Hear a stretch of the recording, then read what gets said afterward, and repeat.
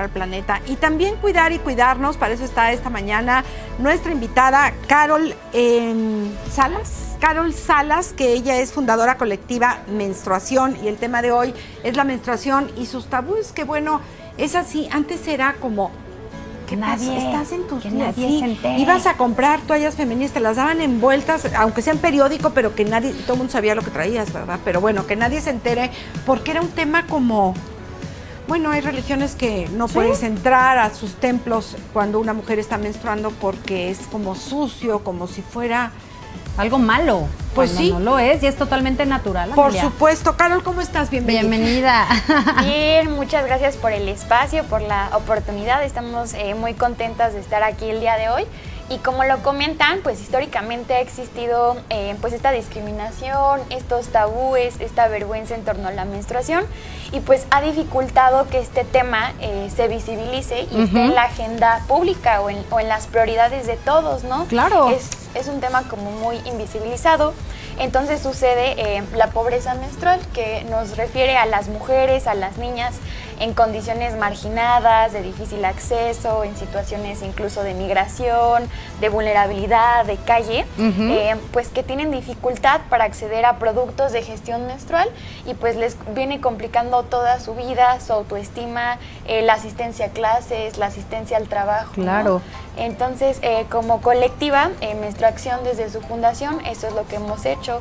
He dado talleres, he dado conferencias educativas, recolectado paquetes de toallas, tampones y diferentes de productos de gestión menstrual para llevarlos a estas zonas de difícil acceso y a donde sea necesario. Oye, Carol, ¿y sigue existiendo esa falta de información, supongo? O sea, no nada más el que lo vean mal, sino el que simplemente lo desconozcan. Supongo que en estas áreas marginadas, pues es, es, eh, cae la sorpresa de que pues ya están menstruando. ¿Qué es lo que está pasando en su cuerpo? ¿Cómo lo abordan ustedes? Eh, pues afortunadamente nos asesoramos, asesoramos perdón, con una psicóloga y con una ginecóloga que nos ha ayudado en la elaboración de los manuales y de los trípticos para tener la información confiable y segura. Eh, pero lo que hacemos es eh, llegar de una forma pues muy simple, muy sencilla, con un lenguaje muy natural.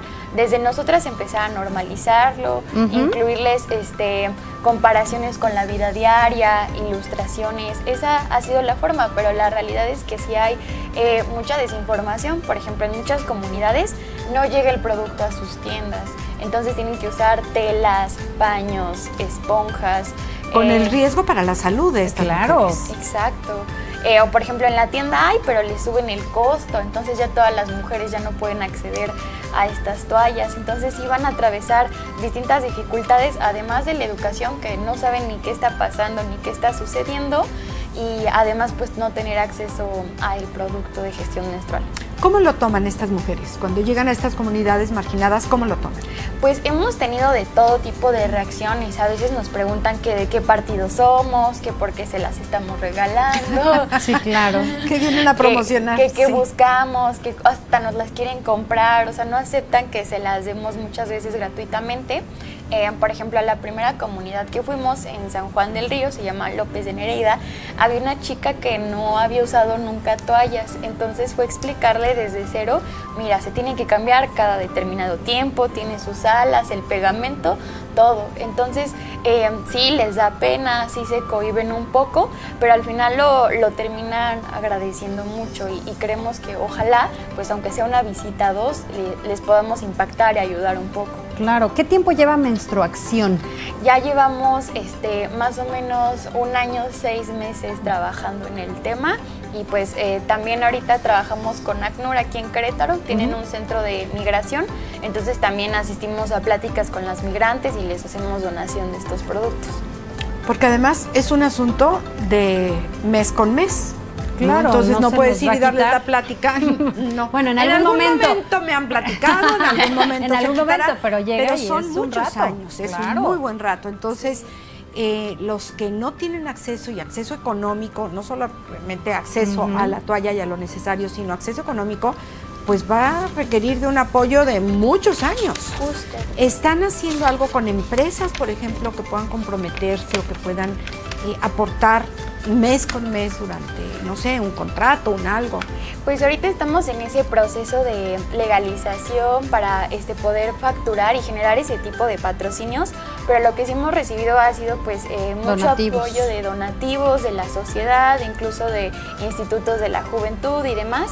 Y de la parte legislativa trabajamos eh, con diputadas de la legislatura local para sacar una iniciativa de ley que ya se aprobó desde mayo de este año. Entonces igual estamos trabajando también en el ámbito público para que sea también un tema de, agenda. Y por ejemplo, ahorita que mencionabas la parte del costo, hicimos por ejemplo un cálculo de una mujer promedio cuánto gasta en toallas, que es el método más económico y más sencillo. Y a lo largo de su vida más o menos va a invertir 26.230 pesos en toallas. A lo largo, mujer. A lo largo de toda su vida. Llegar, yo ya estoy aquí produciendo, digo, es tu chamba, pero llegar a las fábricas que se dedican a productos de higiene íntima femenina, no sé si ya lo hicieron. Este, hemos estado en contacto con Saba, pero seguimos en, ese proceso, de, patrocinio.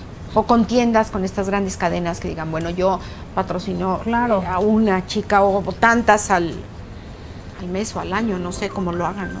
Pues yo creo que es un proyecto que, que deberíamos de sumarnos toda la sociedad, porque no es un tema de mujeres exclusivamente, es un tema, eh, te mencionaba yo ahorita, eh, cuando hay infecciones por una mala higiene, es un tema que afecta a, toda, la, sociedad, impacta a toda la familia y a la sociedad. Sí, claro, y también es muy importante que los hombres empiecen a conocer y hablar del tema. Por ejemplo, en un taller que dábamos, había un hombre que pensaba que a todas las mujeres les bajaba del 1 al 7 de cada mes, ¿no? Y existe tanta pues desinformación, lejanía, que también este pues de alguna forma nos cerramos y ellos ahora cómo saben o cómo van a relacionarse también con el tema, ¿no? Entonces también que ellos estén informados para que puedan empatizar más con el tema y para que pues también sean conscientes de que eh, aunque lo atravesemos solamente las mujeres, nos concierne como sociedad a todos. Y estoy aquí dándome cuenta que tienen un documental. Cuéntanos de ello, ¿cómo fue, cómo surgió la idea? Eh, pues en estas visitas a las comunidades nos llevamos a una camarógrafa, saludos a Tamara Mondragón, que nos ayudó a grabar pues los testimonios de las mujeres. Ellas cuentan cómo viven la menstruación desde sus comunidades, eh, cómo le hacen, eh, qué les falta, qué información tienen, no tienen. Y también invitamos a expertas en este tema de educación menstrual que nos dan un poquito el contexto de por qué el tema en México pues se ha complicado, se ha invisibilizado un poco. Eh, está también en nuestras redes sociales, en Instagram estamos como Menstruación Crow y también en Facebook. También ahí este, pues lo pueden consultar y también ya hemos proyectado este corto documental en museos y en distintos espacios de la universidad. Más allá del mes así se llama. Más allá del mes. Es impactante que pues la mala información o la desinformación, la ignorancia que tenemos en este tema, si los que se supone que medio podemos hablar, todavía es un tema que, que a todos los niveles, que no sepan, ¿no? como si fuera un exacto y sigue siendo muy eh, satanizado de alguna manera quienes a lo mejor por generación somos un poco más abiertos en el tema y, y yo lo soy pues realmente el poderlo platicar y decir, bueno, nada más, o sea, estoy, ahorita en mi periodo y es como de, ¿cómo dices eso? ¿Por qué lo dices? ¿Para qué? No, pues simplemente creo que es parte de la comunicación que deberíamos de tener también como mujeres para que nos vayamos entendiendo entre todos. No necesariamente que vayas divulgando por la vida, estoy en mis días, ¿no? Pero sí es un hecho el que si hay alguna afectación que mencionabas, Amelia, en cuanto a la sociedad, pues sí hay una, debería de haber, creo yo, como esa facilidad de hablarlo sin necesidad de sentirte juzgada, de sentirte señalada, de sentirte satanizada, es algo tan natural que por algo, bueno, todas las mujeres lo tenemos y hay un, periodo y es simplemente hablarlo como es. Claro, porque además en muchas comunidades o en muchas eh, generaciones o países es, tiene un, toque como de pecado, como de tu cruz, suciedad, como lo que suciedad. Sí. Pues, no, pero ¿de dónde? Justo, y es un mensaje muy fuerte entonces el que cargamos históricamente como mujeres y el que le damos también a las niñas pequeñas, ¿no? De deberías avergonzarte, sentirte mal, menos capaz. Y también en este tema que mencionábamos de los hombres, pues evitar también todo ese tipo de comentarios, juicios y estereotipos, ¿no? El típico hay de seguro estás en tus días, ¿no? Sí, sí si estás de malas, este, algo, algo pasa. Tus hormonas no te ayudan. Y es Yo recuerdo una, una mujer que ahorita debe tener 80 años, cuando nació su hija, dijo, pobrecita, es mujer. y ya vino a este mundo a sufrir. Entonces imagínate con la bebita recién nacida, ¿no? No, ya ves que vas a llevarle el regalito y eso fue lo que dije, yo me impacté, dije, no puede ser, pero es una bendición que tengas una hija, hijo, hija, que no, pobrecita, es que las mujeres vienen a sufrir. Y imagínate si vienen con esa idea, o si todavía hay muchas mujeres con esa idea, bueno, pues venimos arrastrando una larga cadena de, de cruces, ¿no? De la Sí. mamá, de la abuela, de la tatarabuela, y pues no, no es ninguna cruz ser mujer. Al contrario. Bendito sea Dios, sí, yo Qué soy feliz. bendición. Sí, sí, ¿En claro, dónde qué las encontramos, Carol? Eh, bueno, como les comentaba, estamos en redes sociales eh, como Menstruación, en Instagram, en Facebook y en Twitter. Ahí nos pueden contactar.